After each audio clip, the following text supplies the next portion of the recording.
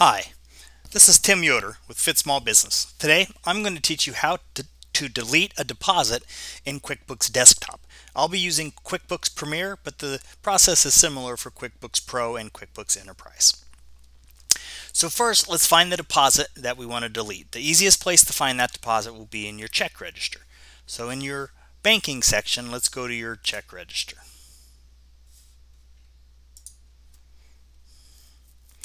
Okay, so let's uh, scroll up here until we find a deposit.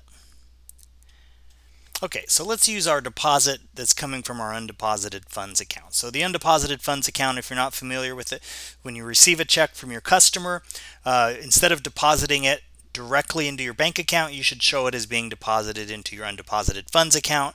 Within that account, you can then group checks together to make one deposit into your checking account. So uh, let's click on deposit here, double click on it, and that'll bring up the deposit screen.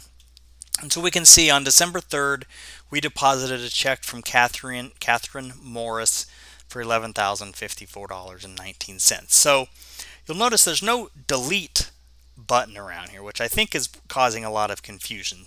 Uh, in order to actually delete it, you have to go up to edit. And then under edit, we can either delete the deposit or we can void the deposit. I personally prefer to void to void the deposit because it has the same effect as deleting it, um, except for there will be a paper trail that at least there used to be a transaction. But it's up to you. You can either delete the deposit or void the deposit. I'm going to void the deposit. Notice it sets the amount to zero. I can then save and close it. Okay, so now we can see in our check register uh, the amount has been set to zero.